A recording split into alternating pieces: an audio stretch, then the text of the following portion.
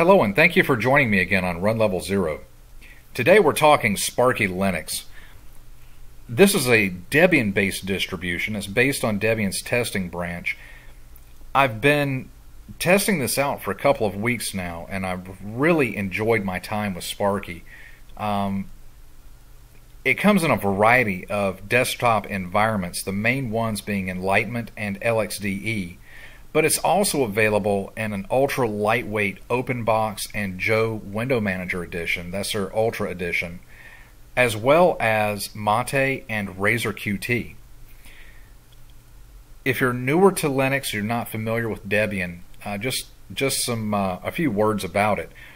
Debian is one of the oldest Linux distributions out there, and it's known for its stability. It's known for being well tested, well put together, and it makes a solid platform to build on top of. There's a huge community for support, and just about any software that you want to install in Linux, you're going to be able to find packages available for Debian and Debian based distros. Uh, this is, like I said, based on Debian testing, and it supports and it supports a rolling release cycle. It's built to be lightweight and quick, and and it's really appropriate for older machines and newer machines alike. It's available in 32 and 64 bit. Now, before we get started, I really can't say that Sparky Linux is appropriate for a new user. Sparky Linux has a lot going on, as you're going to see, and really to get the most out of the system, to, to really appreciate everything that it brings to the table, you really need to be a bit more seasoned in Linux. So let's get started. Today we're going to take a look at the Razor QT edition. If you're not familiar with the Razor QT desktop, this is a desktop that is beautiful and lightweight. It's comparable with the LXDE, the LXDE or lightweight X11 desktop environment. In fact, uh, at the at, toward the, the latter part of 2013, Razor QT and LXDE announced that they're going to be merging and they're going to be bringing us LXDE QT. So they are very comparable. But I really don't think that Razor QT gets enough press and it doesn't get the respect that it deserves.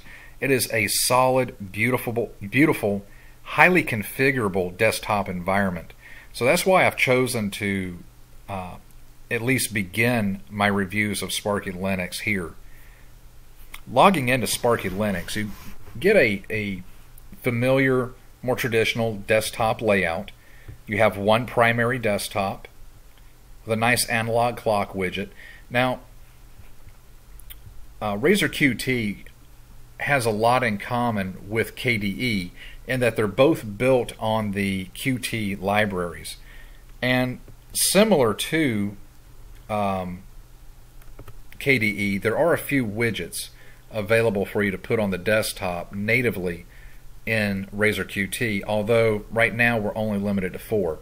Razor Qt is a younger desktop environment and they're still growing, so you can expect these plugins and widgets to grow over time, especially after they merge with LXDE and gain more support there.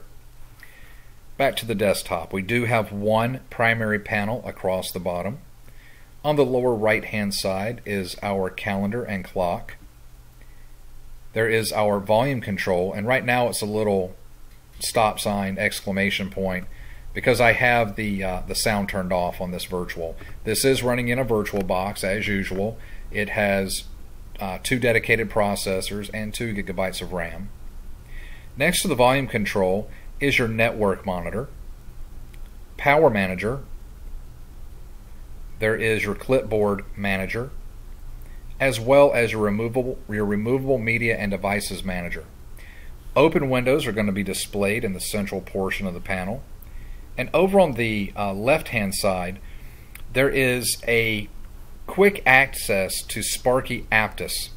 Now, one of the things that really impresses me about Sparky, let me go ahead and give it my admin password here. Sparky has Sparky Linux has done a really good job at creating GUIs that automate a lot of our command line tasks. So that's actually one of the reasons why I don't recommend Sparky for a new Linux user. And I know that may sound kind of odd, you know, new users will be more comfortable in a GUI, but I don't want new users to start using a GUI as a crutch. I believe, I, I firmly believe that new users should get into the command line, get into the terminal, and learn how to do things by hand so they know what's what's going on in their system. That's that's one of the real strengths of Linux is that it puts that much power in the user's hand that you can upgrade, update your system uh, right from the command line. Anything breaks, you can fix it in the command line. And I think it's important for the user to learn how to do that. But Sparky has done an excellent job at taking those tasks that, you know, once you've learned it and you're doing it repeatedly, it can become kind of tedious. So it is nice to have a GUI option. So Sparky's done a good job at creating those GUIs and automating those tasks for us. So what Sparky Aptus is is really a user interface for apt, which is apt-get uh, is the uh, the command line package manager for Debian based systems like Debian, Ubuntu, and that sort of thing. So, in Sparky Aptus, you have the option to upgrade your system, which let me go ahead and uh, open up a terminal here. Where is my terminal? launch a root terminal. All right, so what this is doing, if you're if you're newer, when I say upgrade your system in the command line, you would run a sudo apt-get update. Okay, that's going to upgrade your update your repositories and let your system know what software packages are available to it. Ampersand ampersand uh, sudo apt get uh, upgrade if I can type today. And what sudo apt get upgrade is going to do, it's going to ask the repositories if you have updates for any software packages on your system. So there's a new version of Chromium, a new version of Firefox, uh, updates to LibreOffice, what have you. This is going to upgrade those. What this is going to do this GUI line here, upgrade, safely upgrade the system, it's going to run this in the background for you. So it really makes a tedious task simple.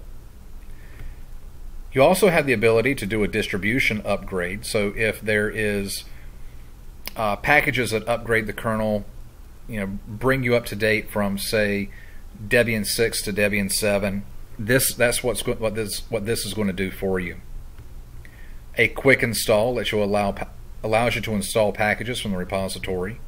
You can install deb packages that you have downloaded. It also allows you to remove packages from your system. So if you want to uninstall Firefox, uh, you can do some house cleaning with auto remove to remove all unnecessary packages from your system. If you have old kernel modules, you can download those old kernels. Uh, you can fix broken packages that did not install or upgrade co correctly. You can remove all old versions of deb packages and remove downloaded deb packages from your system. So Sparky Aptus, this is just one example of the many customized utilities that Sparky has brought to the table. It's very impressive. Oh, just a word of advice: if you do use Sparky and you want to quit one of these uh, these GUIs, don't X out of it, go ahead and click exit. I learned that the hard way. Otherwise, it'll just pop it back up on you. Moving on, the panel. Uh, next, to, next to Sparky Aptus, moving left, is gexec, which will allow you to run any command on your system. So you can launch commands here. You also have the option to run it in a terminal emulator or run the command as root. There is a shortcut for your Razor Configuration Center. This is just your settings manager for Razor Qt and allows you to uh, set your default applications, you know, just a basic control center module right here. You can customize the look and feel of, of your system, uh, control Java, Uh, it is using OpenBox as its window manager by default. But one of the great things about Razor QT, remember, it is a QT based system. Uh, it has OpenBox now as its window manager, but because it has QT, if you wanted to install a window manager that's a little bit heavier, or actually a lot heavier on system resources, but also a lot heavier on eye candy, you can install KWin here because KWin being KDE's window manager, both based on the Qt libraries, they play very, very well together. So if you want to get some eye candy going, you can install KWin instead. Just thought I'd mention that. Moving along, you have a pager next in line, allows you to control your virtual desktops. There are two by default. And you have your application menu. The application menu is very similar to the LXDE menu. It's a no frills menu where all your applications are grouped by their function. So I want to hit on a few of them. We're not going to hit them all. The file manager is PCManFM, which is a lightweight, full-featured uh, file manager. JuffEd is your text editor, as well as LeafPad. There's a shortcut for your root terminal, and Sparky Compton. Now, because Razor QT and the OpenBox window manager are both really designed to be lightweight and fast, they really they don't have any frills as far as visual effects go. Compton is a basic um, composite manager. So it's not going to give you wobbly windows. It's not going to give you, uh, you know, a desktop cube or anything like that. But what this will do is give you some basic visual effects. It's going to set up some basic transparencies on your windows, give some basic shadows around them. I'm not going to start it up here because we're in a virtual where it's not going to give us the most out of it. But this is a great way if if you choose to use that, if you choose to sacrifice a little bit of RAM to it, you can start that here. You can also edit the config file, load another config file that you download. All right, back to the menu. Under games, there are quite a few games installed by default, including PlayOnLinux. For graphics, you have uh, Camorama uh, webcam viewer. The GIMP is installed as well as QComicBook, comic book viewer. For internet, uh, Dropbox is installed for you, uh, as well as a Twitter client. IceDove is your mail client, and IceWeasel is the default web browser. Let's see. You have an instant message client, client, an IRC client. TeamViewer is installed, which you don't see that too often. You have a BitTorrent client, and UGET. Under Office, the entire LibreOffice suite is installed for you, which is kind of unusual. You don't usually see that on a lightweight distro, so I, I appreciate that being there. Under Other, you have your OpenBox configuration. For sound and video, there's quite a bit going on here. Audacity is installed, as well as Avidemux. Uh, you have a DVD encoder, and DVD is installed. XL music player, Minitube YouTube application. You have your sound uh, configuration, Radio Tray, which is an excellent uh, uh, internet radio application. Record my desktop so you can do screencasting. Uh, SM Player 2, and converter. You have a converter, Xfburn for your optical media, and VLC. So there's quite a bit going on in the sound and video department. Under System Tools, you have an assortment of, of system tools. The the usual uh, the usual culprits can be found here, but again, you have so many. This is where you're going to find the uh, the majority of your custom Sparky uh, uh applications here, your GUI front ends.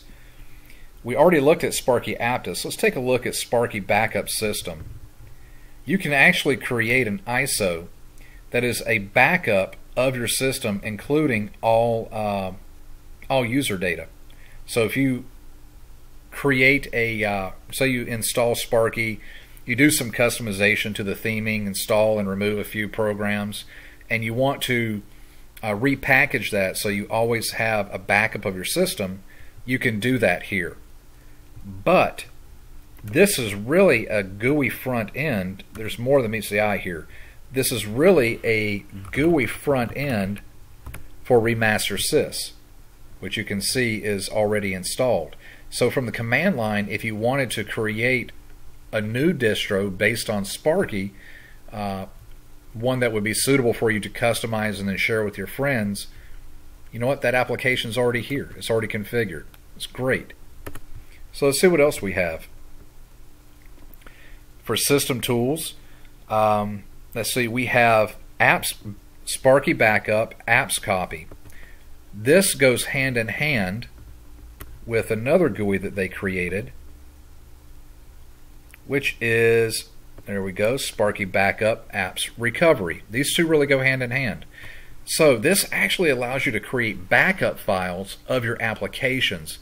So if you installed Chromium for set, you know, for example, and then you did your customizations to Chromium, you can export those customizations to a backup file.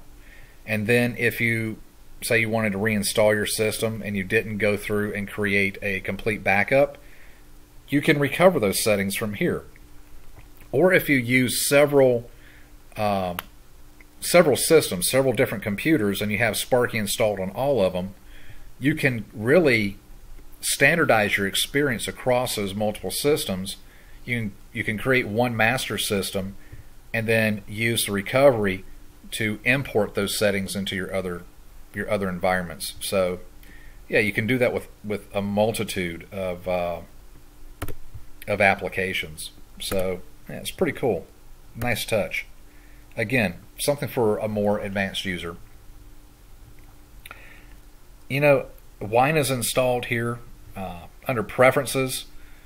You know, you're going to have your, your basic system preferences, you know, Razor QT settings, Flash, Bluetooth. Uh, Synaptic Package Manager is installed as a GUI front end for you to install uh, software, add and remove software as well as you can uh, configure Windows wireless drivers. You know, Update Manager is in the settings menu. Uh, also, another thing about QT, Razor QT, you can right click the desktop and have full access to your system menu as well. So you really you could get away without even having a panel. Yeah, I'm really impressed by Sparky. Um, I think they've they've got a solid product here. Again, not really appropriate for a new user, but definitely if you're intermediate or advanced, you, you could do a lot worse than to give Sparky a try. Um, highly customizable. They have a lot going on, and I appreciate the, the, the spit and polish that they put on the system here. Download it. Give it a try. Let me know what you think. Uh, if there's another distro you want me to take a look at, please drop it in the comments below. If there's a how-to you want me to do, I'll be happy to take a look at that. Uh, thank you for joining me today. Take a look at Sparky, and I hope to be with you soon for another video.